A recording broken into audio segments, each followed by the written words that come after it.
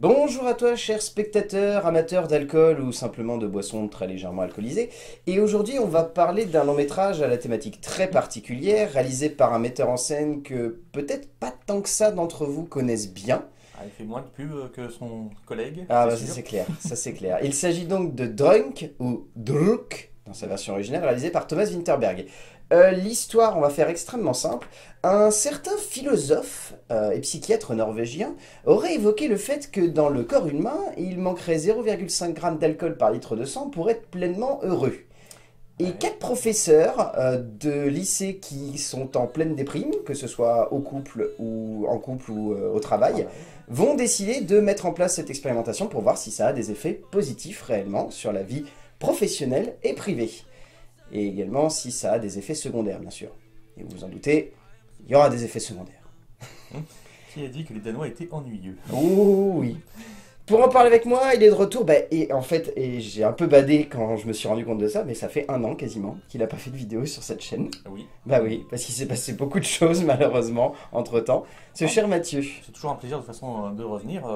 Donc euh, le temps s'efface quand euh, le plaisir est là. Oh là là. Il, vient, on vient à peine de commencer, il est déjà poète dans l'âme, c'est merveilleux, c'est Et, euh, merveilleux. moi j'ai commencé très tôt. hein.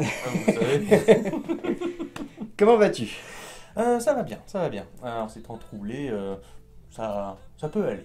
Bon bah tant mieux. Espérons que ça aille pour le mieux par la suite. Je l'espère aussi, je suis tout à fait d'accord avec toi. Euh, alors, Drunk, euh, comment placer le contexte? Parce que c'est un peu compliqué. Alors, euh, personnellement, je t'avoue que j'ai entendu parler du film il y a quelques temps lorsque Winterberg a balancé la bande-annonce et surtout quand il a annoncé qu'il refaisait un film avec Mads Mikkelsen, Mhm. ce qui était très bien puisque son dernier film avec Mads Mikkelsen qui datait d'il y a 8 ans et était quand même un très très bon long métrage. La très classe. facilement reconnu par euh, pas mal de gens comme étant le vrai retour entre guillemets de Winterberg après sa période américaine. Euh, et du coup, Drunk en fait, il a été tout de suite très très bien accueilli euh, rien que par la thématique qu'il choisissait d'aborder parce que tout le monde s'est dit on va retrouver le Winterberg des débuts qui a envie d'être un petit peu critique, de montrer des déboires entre des êtres humains qui sont tourmentés et de surtout s'attaquer à une thématique qui finalement fait partie inhérente de la société, c'est-à-dire à quel point bah, on aime bien peut-être un petit peu tous la bibine de temps en temps et que des fois bah, on franchit une petite ligne qu'il faudrait pas franchir. Et là du coup encore une fois c'était assez corrosif de montrer des personnages franchir cette ligne de manière radicale en souhaitant finalement faire le bien alors qu'ils se doutent très bien dès le début que ça va pas forcément être très positif. Bref, donc il y a eu ça, tous les festoches qui avaient le film étaient quasiment tous dithyrambiques, ils annonçaient que c'était vraiment le gros retour hyper réussi de Winterberg après du coup quelques années où il hésitait. Et bah, c'est à ce moment-là que je me tourne vers toi Mathieu et que je te demande ce que Mhm. tu as pensé de Druk. Le bon vin réjouit le cœur de l'homme, dit le proverbe.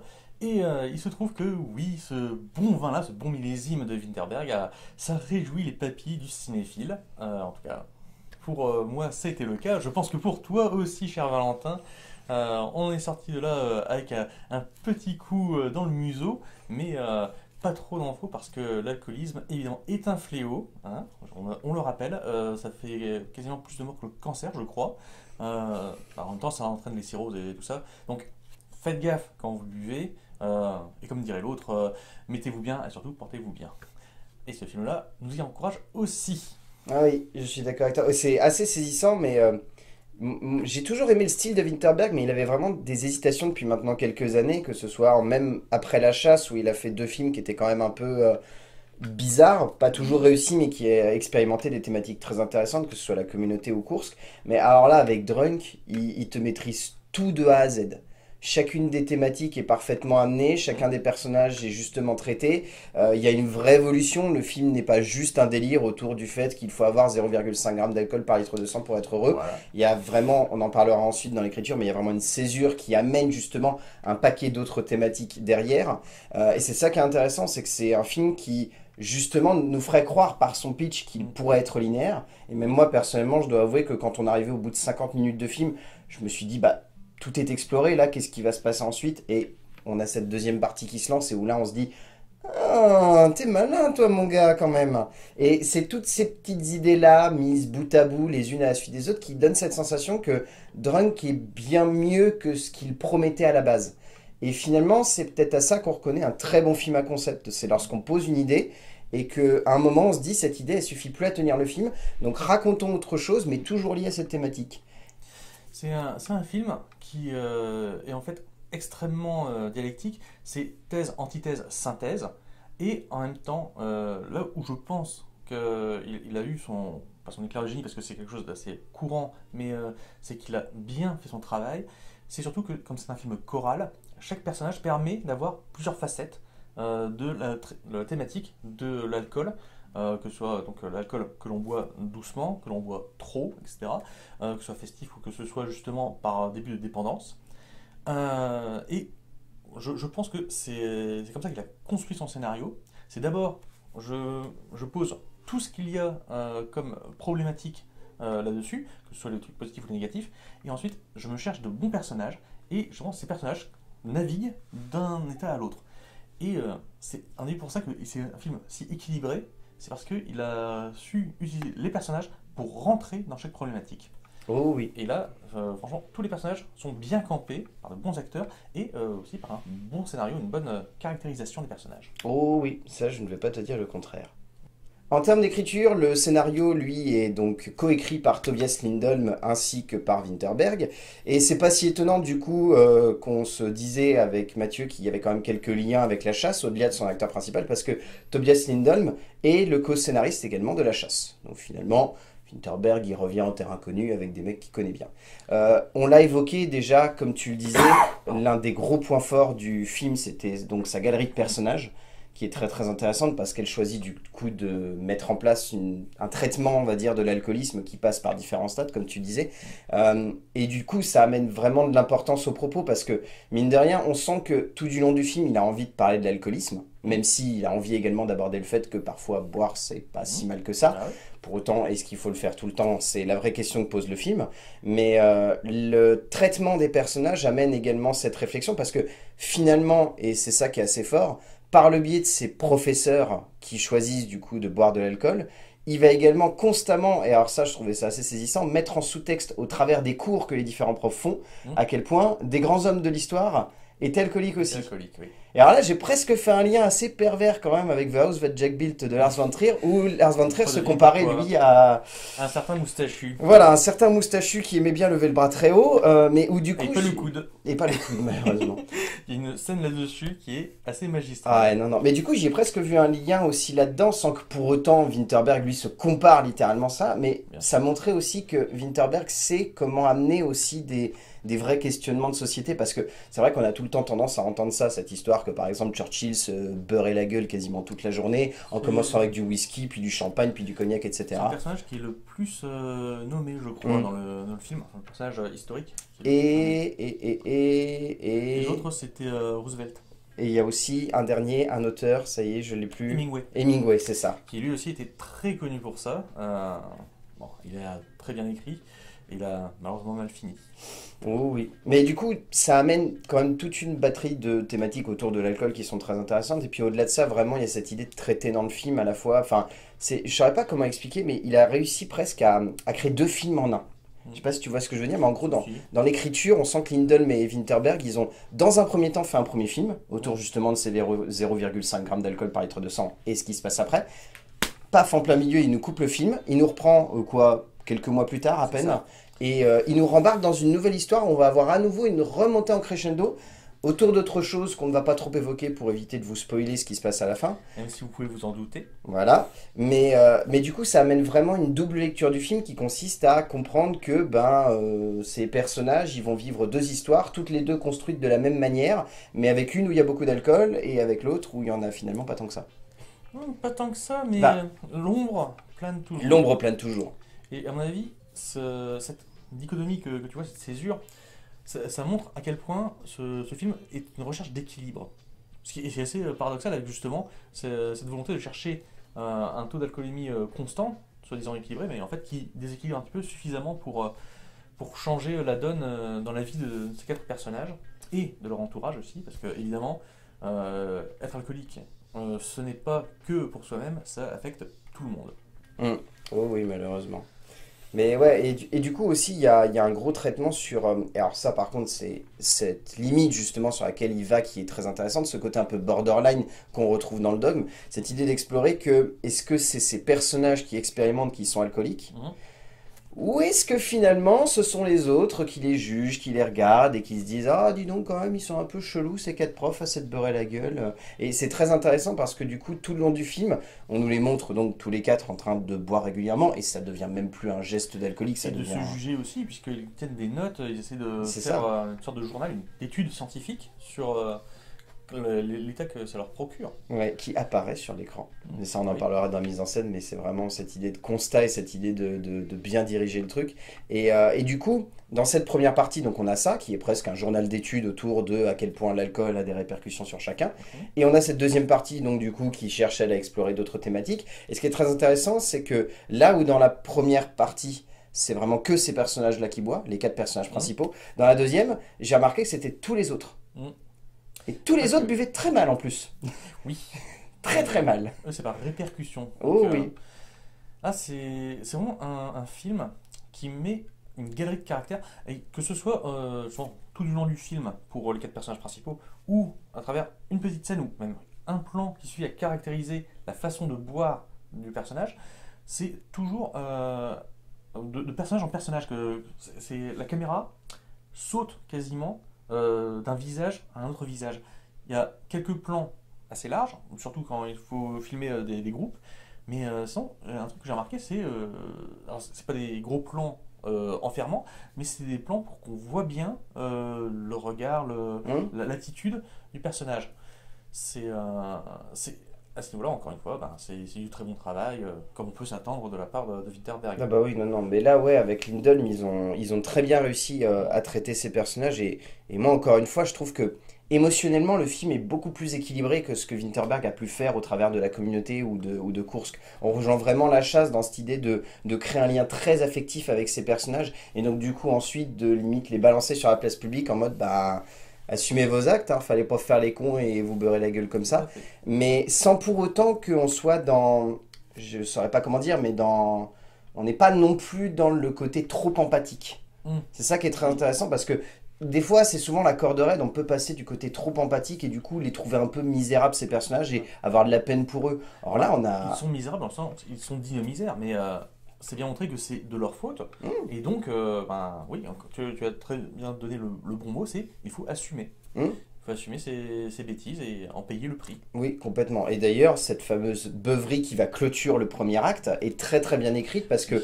elle a presque pas de crescendo en fait. On Ouais. passe d'un stade sobre à un stade complètement déchiré et euh, c'est là en fait que la séquence démarre et, et du coup il y a plein de petites rythmiques comme ça où littéralement en fait on, on saute l'étape justement de, du moment où ils, où ils boivent et où ils se mettent dans l'état pour tout de suite passer à l'état secondaire et c'est pareil pour les, pour les séquences avec le personnage de Mads Mikkelsen où c'est vraiment traité de euh, on le voit à peine boire et direct on le retrouve dans sa salle de classe et hop il va faire son cours et à chaque fois c'est il y a presque ce petit côté un peu euphorisant en fait de les voir faire ça au Ah tout oui, début c'est le principe euh, justement de, de l'alcool au départ, c'est que quand on a le, le vin joyeux, ben forcément euh, ça, ça va bien, c'est la fête. C'est quand il y a les répercussions, parce que plus on, plus on boit, plus on a besoin de boire pour retrouver la même sensation, euh, l'alcool ça vous grignote le cerveau quand, quand c'est fait de manière régulière. Et donc forcément ils ont besoin d'augmenter la dose. Et euh, au bout d'un moment on passe de la joie euh, ben, à, la, à, la, à la larve, quoi, au Oh, sens oui. propre. Et à la grosse larve.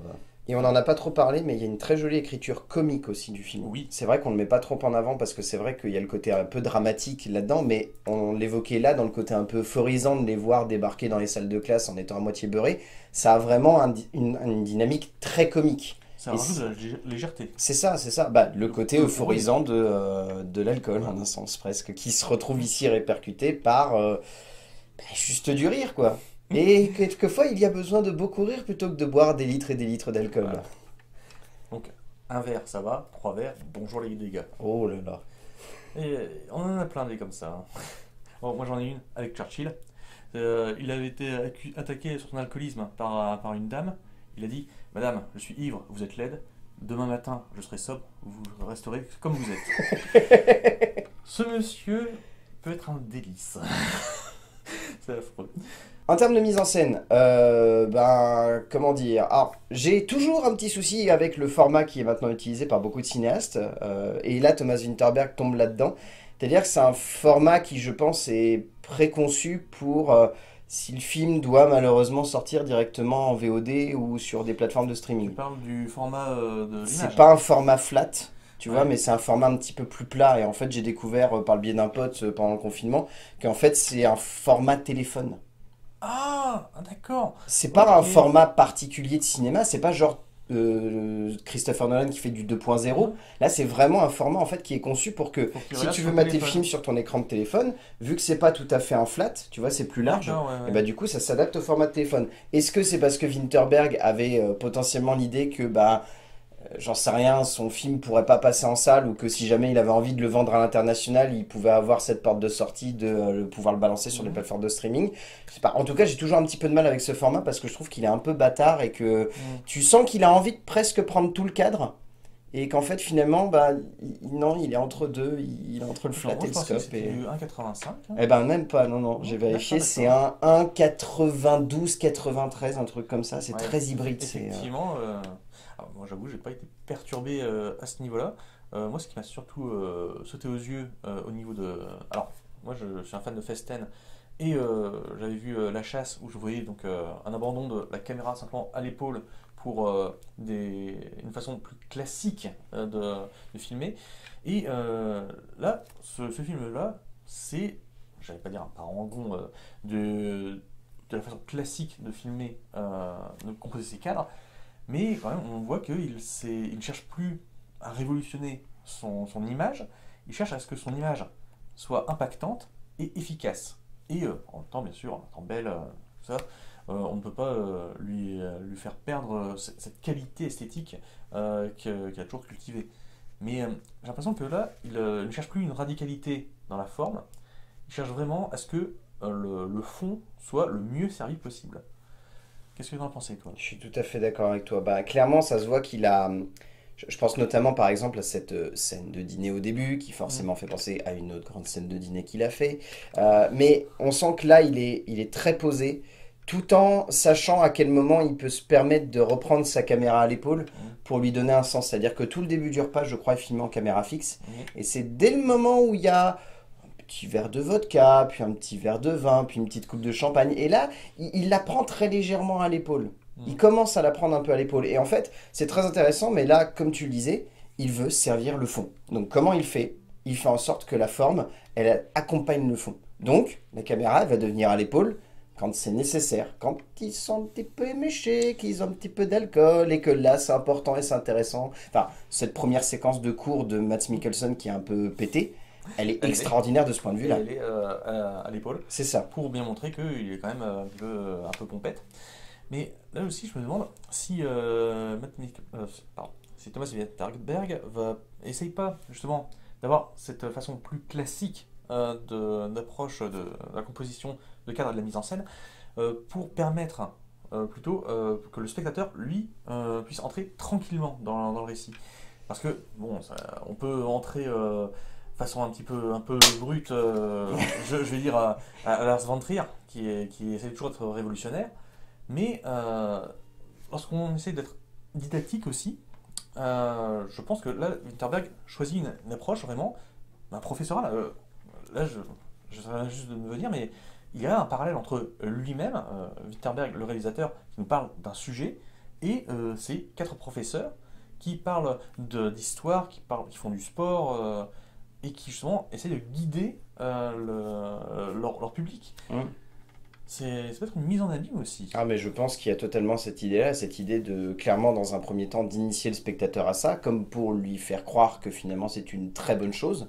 Et, et c'est là justement qu'il y a toujours ce petit côté tendancieux chez Winterberg, c'est que on l'évoquait au travers de ses premiers films, c'était vraiment radical parce que il devait respecter le dogme et que l'idée c'était vraiment d'affronter des sujets que le spectateur n'a pas l'habitude de voir ou alors qu'on n'a pas traité de manière radicale. Et donc du coup il le mettait vraiment en avant. Et là on sent que sur euh, Drunk il a envie de faire la même chose mais de manière plus insigneuse, de d'y aller tout doucement, de manière un peu vicieuse, en mode Eh regarde, en fait, c'est pas si mal d'avoir 0,5 g d'alcool par litre de sang. Tu voudrais pas essayer peut-être Regarde comment ils font ensuite. Et c'est là du coup que tu as le côté un petit peu plus, euh, entre guillemets, classique qui prend la forme et où là, on- il nous fait comprendre que non, faut, faut pas aller dans l'extrême quoi. Tu peux y aller de temps en temps si tu veux t'amuser, mais pas, pas- pas non plus comme eux parce que je crois qu'à un moment ils atteignent Là, 2-3 grammes par litre de sang. Enfin, c'est- beaucoup. hein. Petit rappel quand même pour euh, tes, tes spectateurs qui ne le sauraient pas, le dogme ou dogme 95, c'est un, un mouvement euh, en particulier danois qui a été initié donc par euh, Witterberg et par Lars von Trier. Euh, donc si, si on en parle comme ça, c'est parce que c'était une petite révolution, c'était leur, leur nouvelle vague à, à eux. Euh, donc euh, peut-être que vous n'avez pas connu ça parce que ça n'a pas duré longtemps. Même on peut dire ça a duré. euh, Bah, ça a duré. bon, pour Winterberg, ça a duré un film. Ouais. Et pour Lars von Trier, ça a duré. Il y a eu quoi? Il y a eu. euh, Les Idiots, il y a eu. euh, mince. Bon, je crois que c'est 2-3 films, non Mais pas beaucoup pour Ouais, euh. Lars von Trier, honnêtement. T'en as, ouais, t'en as eu quelques-uns, quoi. Mais, mais rapidement, von Trier a choisi une manière plus radicale de le faire. C'est-à-dire vraiment en approchant des thématiques qui sont souvent très irrévérencieuses et très provocatrices avec le spectateur. Oh. Euh, et de l'autre côté, Winterberg a cherché, lui, à plus euh, s'ouvrir à un cinéma plus classique, ce qui l'a fait un petit peu divaguer pendant quelques années aux États-Unis. Et ensuite, seulement, il est revenu à la chasse. Et là, les gens ont vraiment eu la sensation qu'il y avait le cinéaste de Festen qui revenait. Donc, euh, donc ils ont chacun deux approches très particulières. Et tu faisais la comparaison hors champ, mais il y a, c'est vrai que la comparaison Godard-Truffaut, Mm. genre Godard c'est Lars von Trier et Truffaut c'est Winterberg, elle est Ouais. plutôt cohérente. le révolutionnaire et euh, le pas le classiciste parce que vraiment révolutionnaire aussi euh, Truffaut mais euh, plutôt celui qui euh, qui se soucie avant tout du public pour l'amener sur ces thématiques Mm, complètement. Et là, Winterberg, bah, il est complètement dans cette démarche-là, Vendrunk, qui veut faire en sorte de servir le spectateur. Et, et parce que sur le papier, on reste quand même sur le type de film qui est parfaitement foutu dans la case film d'auteur par Ouais. excellence. Alors qu'en fait, ça se voit Mais, que euh, Winterberg, il n'a pas envie de faire ça. mais euh, film d'auteur mais justement euh, pas le film d'auteur euh, chiant comme euh, comme on peut l'imaginer comme on l'a en, ça, en voilà. caricature là c'est vraiment du film on- un film d'un auteur euh, enfin, deux parce que si on prend le co-scénariste aussi mais c'est avant tout une vision et une thématique, une, une façon de faire, mais euh, c'est pas le côté justement euh, moi-jeu euh, qu'on peut avoir dans, dans certains, certains succès d'années de On est, plutôt sur, on est plutôt sur un moi nous. Oui, Venez avec Ah, moi. vu. Mais il a vraiment envie de faire ça, il a vraiment envie d'emmener le spectateur. Et. C'est ça que j'aime beaucoup chez Winterberg, c'est que là où Van Trier, on peut vraiment rester très réfractaire à son cinéma des fois, parce que c'est très très très très très radical. Euh, Winterberg, il cherche plus à être, je dirais pas non plus doux, mais à se dire que le spectateur, il peut pas non plus complètement rentrer là-dedans et, euh, et, et accepter des choses qui peuvent sembler très très très borderline. Genre là, accepter qu'un groupe de persos, ils vont se beurrer la gueule. Non, il choisit du coup de placer une séquence d'intro qui montre bah, potentiellement des jeunes comme certains jeunes qui pourraient avoir envie d'aller voir le film, Oui. qui sont en train de s'éclater, qui Ah. reproduisent des gestes que je pense pas mal de jeunes connaissent, et qui ensuite fait la césure, nous montre un autre contexte et nous dit regardez, on repart de zéro. Donc là, vous les avez vus, ils ont déjà euh, atteint le stade maximum. On va repartir de zéro et on va essayer de refaire la même chose qu'eux et de voir comment il peut y avoir une évolution. Est-ce que tu as déjà vu euh, des, des trucs de ce genre-là, toi, comme font les jeunes Alors le, Euh, le, coup, du de- le film. coup du lac, euh, Oui. non, alors ça j'ai pas vu. Moi je pensais euh, plus à la partie dans le tram où ils sont complètement beurrés, où ils s'amusent à faire n'importe quoi. Non, la Ah, course, oui. j'ai jamais vu ça. Mais à mon avis, je- ça serait pas étonnant que le film lance une petite mode, hein, ce qui est un peu moyen, mais je sens qu'il va y avoir des drunk challenge qui vont débarquer de nulle part. N'importe quoi. dans ce cas, ça veut dire que le film échouait à son message. Ouais, Parce ouais. que, bon, Mais tu sais, comme beaucoup de films malheureusement aujourd'hui qui ont tendance à échouer dans leur message. Et ça Ou même avant, euh. Orange Mécanique, euh, qui a qui a été euh, vu comme un film contre la violence, mais euh, a trop bien fait. il Ouais. a rendu la violence glamour et cool. Ouais, ce qui était quand même un peu glaçant. Voilà. qu'on se le dise. Euh, en termes de casting, euh, bah déjà on va citer les quatre acteurs principaux que sont Mads Mikkelsen, Bo Thomas Bollarsson, Lars Rante et Magnus Milang.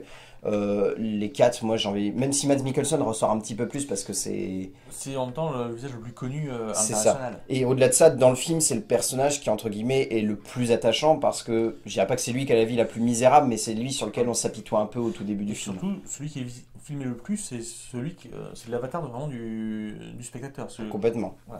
Mais d'ailleurs, quasiment montré comme une coquille vide au début. Hein. C'est la réflexion que je me faisais, mais euh, Ouais. là-dessus, il a très très bien géré Winterberg parce qu'il en fait vraiment un personnage qui est complètement effacé, à un point limite euh, qui fait froid dans le dos parce que tu dis, eh, putain, euh, pas, pas vieillir comme ça quand même. Mais c'est assez génial. Et les trois autres, ils sont vraiment excellents. Enfin, ils ont, ils ont chacun leur petite personnalité, ils ont chacun des. Leurs problématiques. C'est euh, ça. Et c'est tous des habitués, je crois, hormis Lars Rante euh, du cinéma de Winterberg. Genre Thomas Bollarson, il était dans Festen. Oui. Euh, Magnus Milang, je crois qu'il était dans La Chasse. Euh, et il n'y a que Lars Rante, du coup, le dernier, qui lui, par contre, débarque pour la première fois dans son cinéma. Euh, on peut citer également les deux actrices qui sont Maria Bonnevie et Susse Vold, qui sont toutes les deux très très bien. Oui, oui, oui.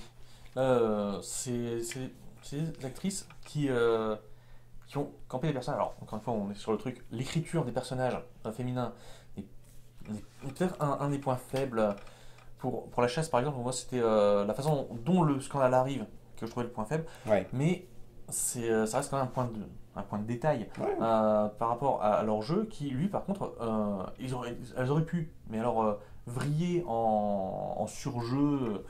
Mais je pense, alors, que ce soit parce qu'elles ont été bien dirigées ou parce que simplement sont très bonnes actrices à la base, elles ont réussi à, à donner des personnages qui ont des, des scènes de nuances, euh, surtout dans leur jeu, et euh, en particulier donc. Euh, euh, comment elle peut marquer Suzy Vold, celle qui joue la... L'autre, euh, la, oui. la- la- la plus importante, Mi- Celle qui joue la femme de ouais. Maria Bonnevie, Maria Bonnevie, qui joue la femme donc de Mads Mikkelsen dans le film. c'est elle qui a le droit à plus de gros plans. Je crois que, que, que Holt n'a n'a pas droit à de vrais gros plans. Non, non, non, elle est plus, elle est plus souvent montrée en fait. euh, eh ben, D'ailleurs, je crois qu'elle est tout le temps montrée entourée de ses enfants, Oui. Si je ne me plante pas. donc c'est plutôt un personnage groupe. Mm. Tandis que euh, Maria Bonnevie, elle, elle a droit à quelques gros plans, surtout dans sa confrontation avec, euh, avec son mari. Et euh, ces gros plans, ainsi, enfin, on voyait bien ces mouvements d'yeux. C'était c'était vraiment quelque chose qui était très, très, très parlant, très, très expressif. Oui, Donc, complètement. du très bon travail à ce niveau-là, une très bonne coordination du réalisateur pour sa demande de- de- de- d'interprétation et des actrices pour euh, montrer justement euh, leur désarroi ou leur, leur façon d'oc- d'occuper l'espace par rapport à un mari Mm. qui en prend de plus en plus euh, justement euh, quand il est Complètement torché. torché. Et, et je veux revenir quand même sur la performance de Mads Mikkelsen, qui, au-delà d'être un immense acteur, tout le monde le connaît, il est, euh, il est vraiment exceptionnel et je pense que tout ce qu'il touche devient de l'or, honnêtement. Euh, ici, il est.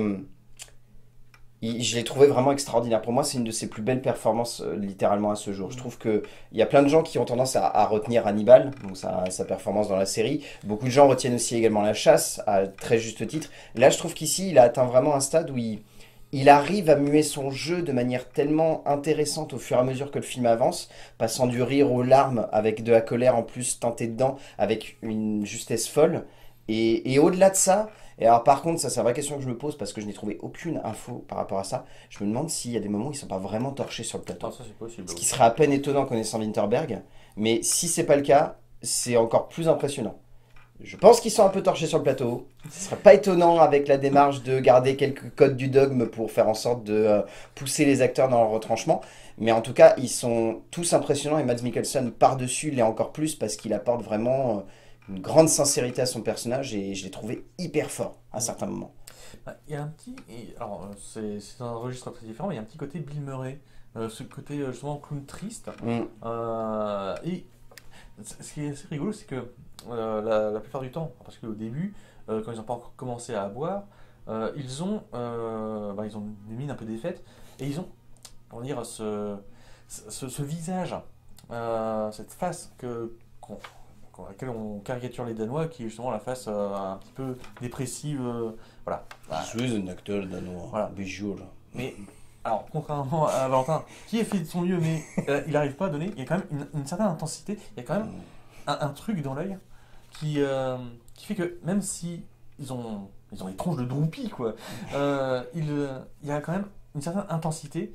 Je sais pas comment ils projettent ça. De, Ah, je sais pas vraiment, mais c'est impressionnant. Mais et tous là en plus, les quatre, ils ont, euh, ils ont des, des séquences où vraiment ils ont des mines, mais alors défaites. Moi je pense à une séquence qui m'éclate dans ce genre-là en termes de jeu qui est assez exceptionnelle. C'est la séquence où euh, euh, la première journée où euh, Mads Mikkelsen se torche la gueule Mhm. et où en gros il arrive au fameux stade de 20h et il se remet à boire de l'eau. Je sais pas si tu te rappelles, il est limite hyper joyeux et d'un seul coup il se rend compte qu'il est 20h et tu bois boire un verre d'eau et là pareil, comme tu dis, il a cette mine de droupie complètement défaite et où tu te dis, c'est génial, en juste Ouais. un cut de faire ce raccord. Enfin, C'est. euh,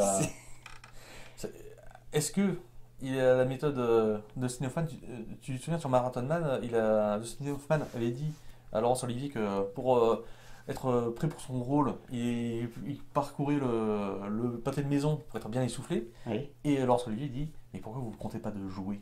Vous ne vous contentez pas de jouer Et là, justement, alors est-ce que. ben là, ça, ça repose la question est-ce qu'ils ont bu pour se mettre dans cet état? Et dans ce cas, euh, ce, ce retour à la sobriété euh, est, est, euh, bluffante Ou est-ce qu'au contraire, euh, ils, ont, ils ont joué, ils ont fait semblant d'être euh, un petit peu comme ça, tu vois je, je, je, je- j'essaye, hein, je veux dire. Euh, Mais euh, c'est vraiment un, un exercice d'équilibrisme assez fort. Bah, si quelqu'un était sur Voilà. le tournage de Drunk, mettez un message dans les commentaires. Ou alors, est-ce qu'il a d'abord fait ses scènes sorts, ensuite il s'est torché la gueule, et euh, c'est au montage que c'est Ah, peut-être, ouais. Ouais, peut-être. Ah, on, on ne sait pas, Ah là là, c'est les mystères, c'est les mystères du cinéma. Bon, mon cher Mathieu, on arrive à la fin de cette vidéo sur Drunk. Qu'est-ce que tu en retiens au bout du compte de Drunk? Ben, je retiens que c'est un film avec un concept extrêmement simple. Vous avez vu combien de temps on a, on a pris pour en parler? C'est parce que justement, c'est un film qui, euh, est riche. C'est euh, c'est étonnant à quel point justement, ce- cette thématique peut être riche quand elle est euh, abordée de la bonne manière. Et euh, encore une fois, qu'est-ce que- qu'est-ce qu'on a à, à, à dénier à ce film? Quasiment rien. C'est un film mené de main de maître. Oui. Eh ben, je vais complètement te soutenir là-dessus. Euh, moi, je vous conseille très fortement d'aller voir Drunk. Bien au-delà de son, sa petite étude sociologique quand même très intéressante, c'est un film qui véhicule beaucoup d'émotions, qui sait très bien jouer avec nos spectateurs, qui sait très bien jouer avec les outils du cinéma pour faire en sorte soit de créer de l'émotion, euh, soit de créer des personnages très forts, soit de créer une mise en scène qui soit parfaitement en adéquation avec le propos du film. Euh, très clairement, et alors moi je pèse mes mots, je pense que c'est un des films les plus maîtrisés de la part de Thomas Winterberg, dans le sens où il sait reprendre ce qu'il faut du dogme, mais en même temps amener un petit peu de son cinéma entre guillemets plus classique pour construire quelque chose qui monte en crescendo constamment et qui se renouvelle mine de rien. C'est un point qu'on a mis un petit peu en avant, mais c'est très important. Le film sait se renouveler au moment où il perd de la vitesse. Mm. Et que dire de plus si ce n'est qu'il a... Il y a quatre acteurs extrêmement talentueux en tête d'affiche Mm. qui portent vraiment le long métrage avec une maestria complètement folle. Donc ouais, je pense que tu vas me soutenir là-dessus, mais on va vous conseiller d'aller voir Drunk de Thomas Winterberg très fortement. On a oublié de parler d'un truc, on avait dit qu'on en reparlerait, c'est euh, les cartons euh, pour euh, lorsqu'ils font leur étude sociologique. Juste pour dire en un mot, je pense que cette façon de séparer le- les personnages qui sont en train d'écrire et le texte écrit, donc là c'est de, l'écriture blanche sur fond noir, c'est pour bien montrer d'un côté le côté clinique, froid, scientifique, et de l'autre le côté humain. Et ben, c'est le côté humain qui, se- qui envahit de toute façon euh, le côté clinique. Euh, Une métaphore peut-être de tout le film en plus. C'est peut-être, oui. C'est pas étonnant, mais c'est vraiment ça, ça montre tout le côté très fort de, de l'œuvre, justement, de savoir montrer le théorique et la pratique finalement. Il n'y a pas à dire, euh, plus on y en pense, plus il y a de qualité. Merci, euh, Interberg. Voilà, vous l'aurez compris, euh, on a beaucoup beaucoup aimé. Merci Mathieu d'être venu pour cette vidéo. Merci à toi, c'est toujours C'est un plaisir. Mais voilà, c'est ce que j'allais dire, c'est toujours un plaisir de t'avoir ici. Et puis ça faisait longtemps qu'on n'en avait pas fait une, avec tout ce qui s'est passé dans cette année. Voilà, c'était important pour moi que tu reviennes quand même à poser un petit peu ta marque sur cette chaîne, où tu sais bien que tu as toujours une place de De- privilégié, j'ai envie de Ah. dire. Si, un petit- Il y a, il y a- il y a tellement de. Justement, ils sont tellement excellents tes tes invités. Non, non. Là.